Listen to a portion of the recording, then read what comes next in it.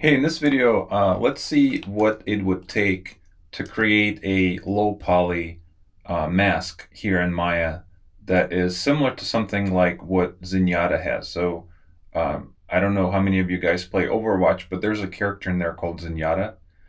And uh, this is what he looks like. So instead of building the entire character, I just wanted to see as an exercise what it would take to create just the mask and specifically not so much the shape of the mask. I'm really just interested to see how would we pull off creating kind of a nine holes and maybe the eye sockets uh, here in Maya. So let's go ahead and take a look and see what um, what would be some of the techniques we could use for something like this. So I think the best way is to grab a box. I'm going to start with a box. And if we go into our channel box, we can uh, make sure that the Z value is a zero and the X value is a zero. Um, make sure it's centered. And now let's go ahead and go to mesh and do something like smooth. All right.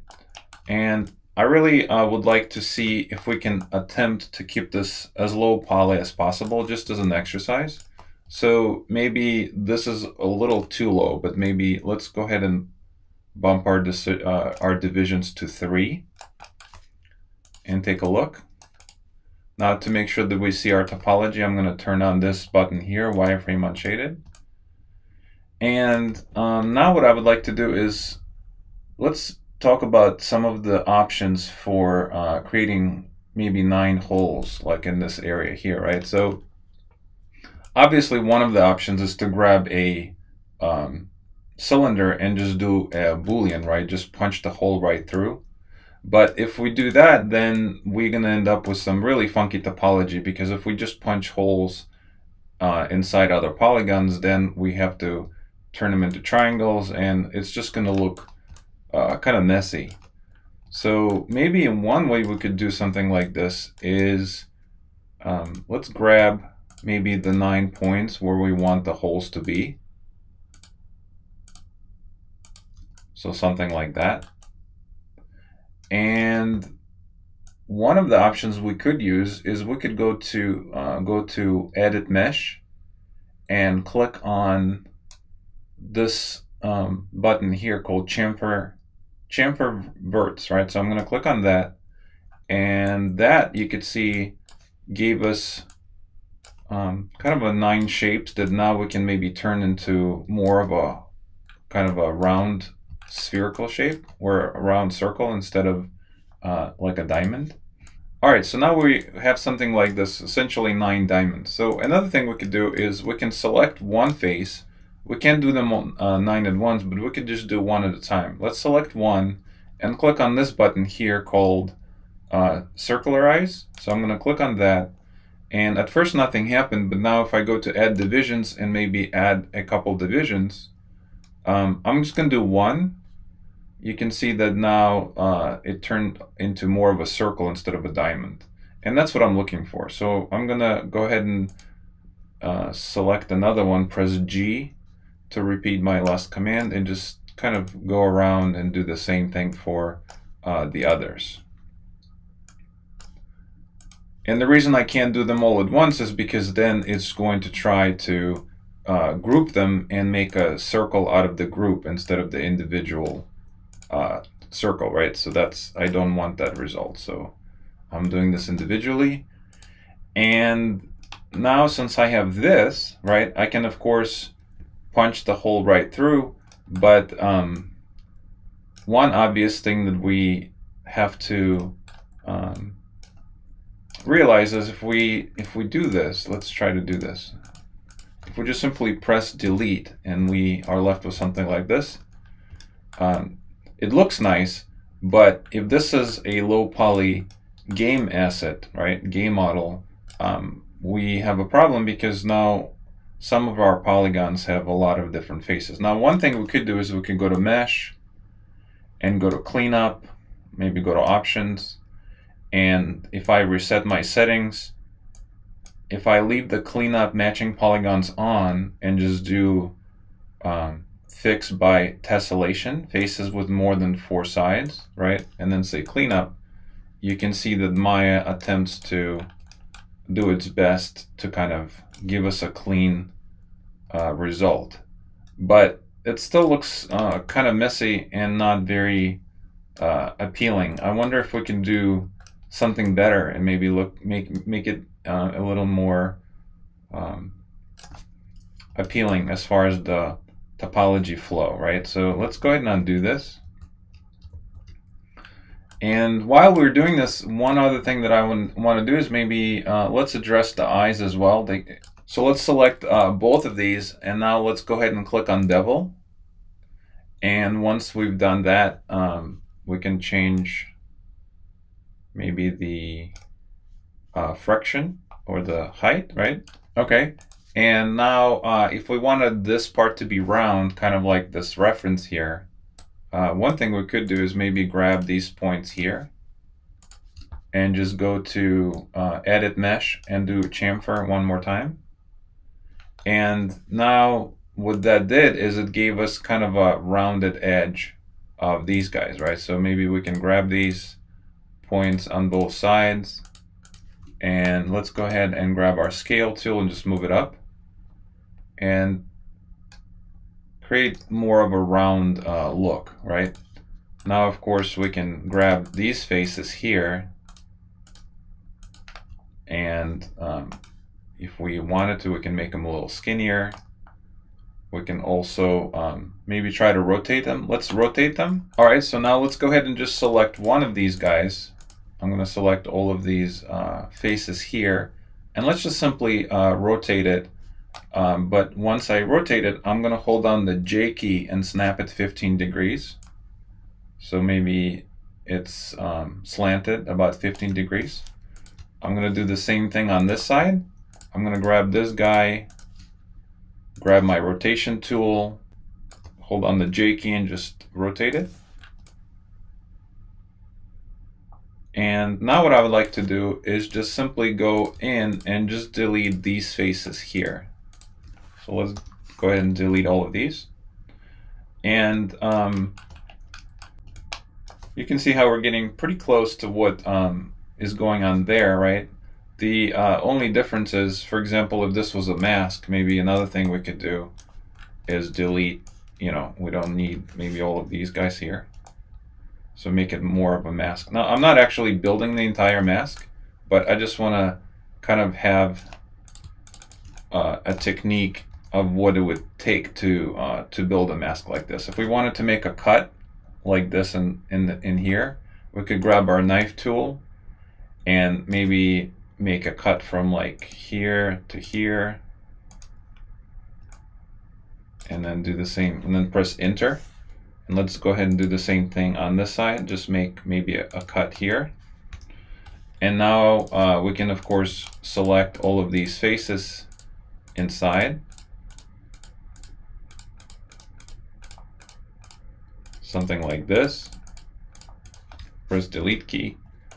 And you can start uh, seeing how, um, you know, we can begin to sort of shape the mask of what we uh, want. Um, so in this case, I'm not going to build the whole mask. I'm just really focusing again just on this part here.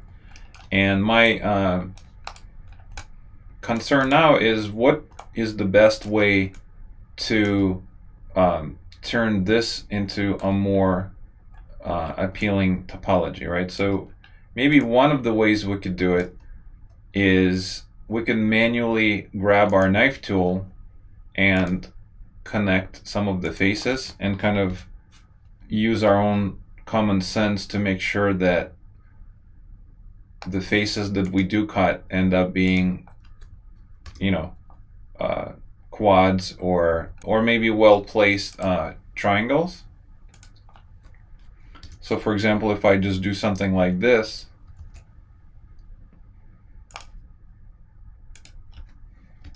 I can see that this face, for example, has four corners and this does too. So that, that totally works. And I believe maybe this would be the best uh, way to achieve really clean, low poly uh, frame is just to manually um, create your cuts. And um, once once you uh, gone through and created your um, once you cut your topology, right? And you wanted to make sure that hey, I'm not sure if I got all of them. Let's just let's just do a couple more real quick.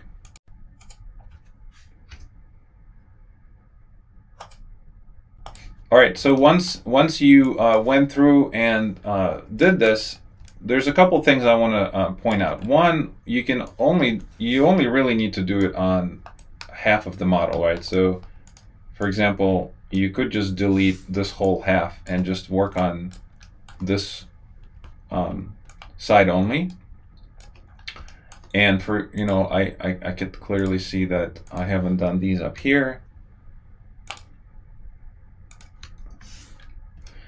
And um, now before you flip it, what I was going to say is you can always select the whole shape and go to mesh and use cleanup, but use it in a different way. Instead of using the operation cleanup, just say select matching polygons. And instead of having the Maya do the cuts for you, if you say select matching polygons, it's just going to simply show you which ones are not quads, right? So now if I say cleanup, I can see that uh, all of these polygons here still need work, right? So uh, let's quickly address this. So for example, this is one of them. And you have to be careful uh, when using the cut tool, you really want to make sure that you click on the points. And uh, this was the other one.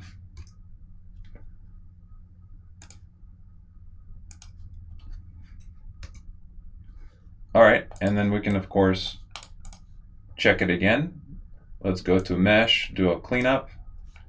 And uh, now there's a few more, so I'm gonna grab this guy. Let's make a cut.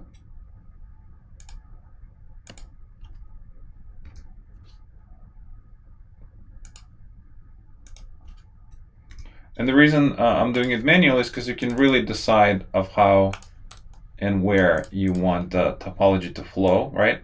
Let's do a cleanup. And now uh, I'm just left with this section here. So I'm going to grab my cut tool and let's go ahead and fix this as well.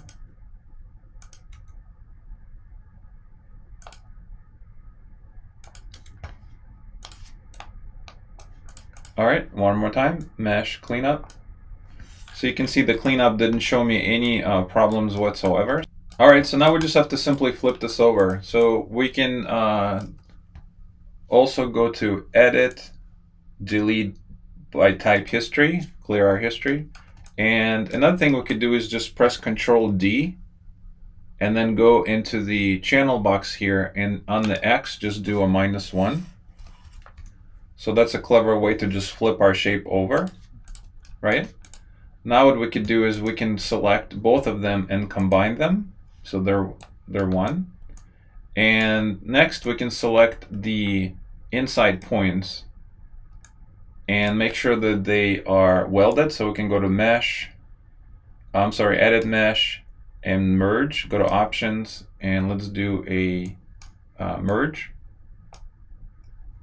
and now um, these are merged together. And if you wanted to double check, you can always select each point individually and just make sure that it says one. You can see that says one, right? Just to uh, be, just triple check. And this topology looks really nice and clean. And of course now if we wanted to, we can grab the whole entire shape. We can grab all of these points here, I mean polygons and ju just do an extrude and give us maybe a little thickness.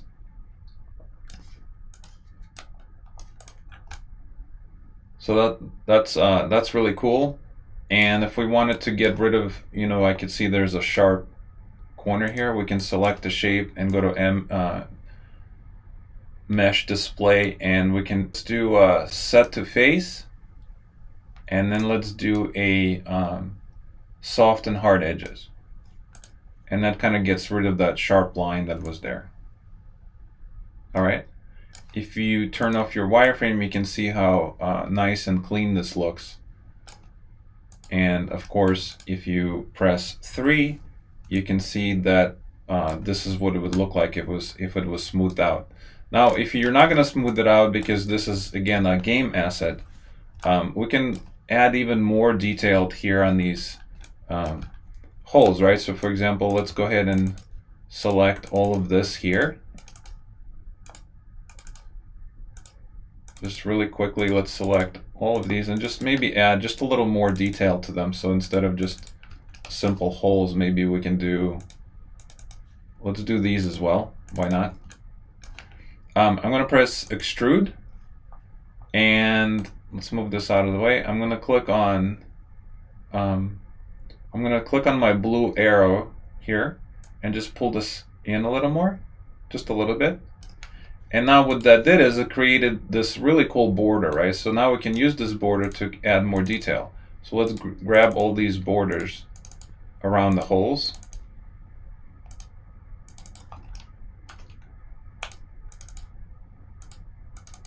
Just like that. I'm going to do it around the eyes too.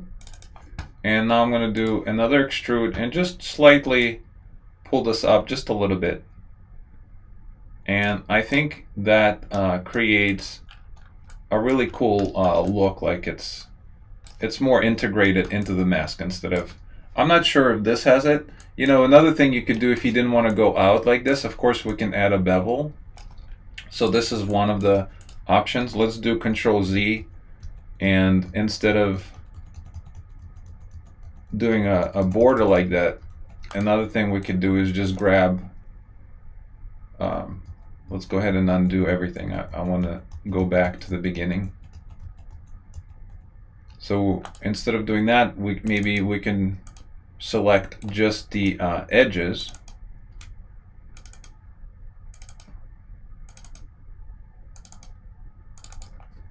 I'm just going to double click on the edges of all nine holes.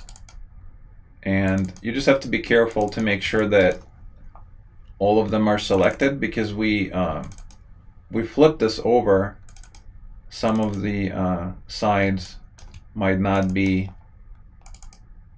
selecting by just double clicking so just make sure that um, they are uh, selected, right? I think I got all of them on my end. And let's do the same thing around the eyes.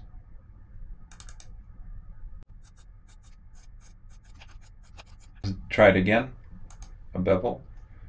And that uh, creates another interesting effect that's completely different. So there's a couple different options. And I, to be honest with you, I kind of like this one even more. So all right, so that's uh, one way of doing it. And of course, if you are done, uh, you can always go to mesh and do a, um, let's do another cleanup and we'll just do select matching polygons and make sure we don't have any topology that's funky. So we'll do cleanup and we can see that Maya is going to show us if anything is weird. So um, because we beveled the eyes, it created a polygon with one, two, three, four, five uh, points. So of course we can fix that by just making another cut.